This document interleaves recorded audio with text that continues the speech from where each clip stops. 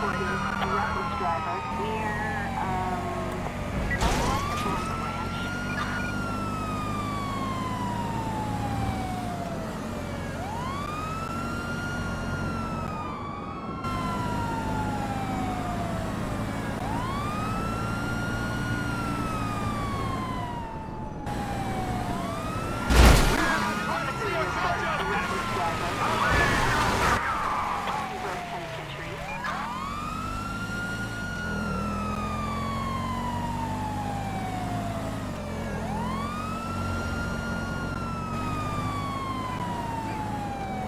Dispatch, we have a visual.